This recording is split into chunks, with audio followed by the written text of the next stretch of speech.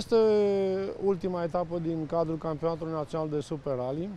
Uh, acesta este un proiect uh, al familiei mele, cu soția și cu băiatul am pus pe roate împreună și este frumos că sunt tot uh, mai mulți participanți, vin piloți tot mai buni, iar așa să zic, pentru mine marea satisfacție este că a venit un campion mondial din Austria, care a auzit de acest campionat și a zis că îi se pare foarte interesant. Este cu o mașină electrică, bine, dar pe care Dani Oțilă va pilota astăzi.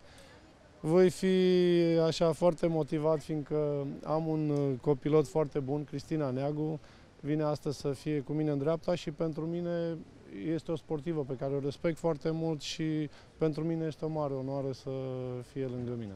Câți participanți sunt anul Uh, noi am limitat numărul de înscriși, fiindcă nu putem, uh, datorită timpului, nu putem lăsa foarte mulți participanți. Am uh, acceptat 42 de cereri de înscriere. Fiecare pilot va parcurge patru manșe de calificare, iar de la 1 la 3 va fi finala. Pentru finală se califică primii 12 practic pentru public atunci ar trebui să fie momentul cel mai uh, interesant. Cristina Neagu va fi în dreapta ta, vei conduce mai prudent să nu cumva să sferi?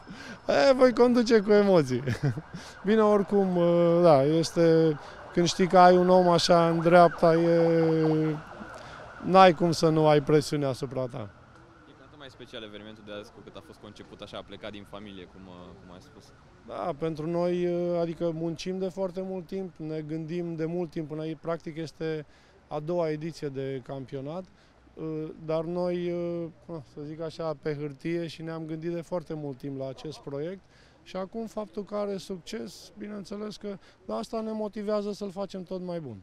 A fost o dorință specială ca ultima etapă să fie în București, într-un loc da, special? Da, da, da. București este capitala țării, în București nu sunt curse auto, și cred că și în București sunt foarte mulți uh, iubitori ai sportului cu motor și de asta ar fi normal și București să aibă o etapă.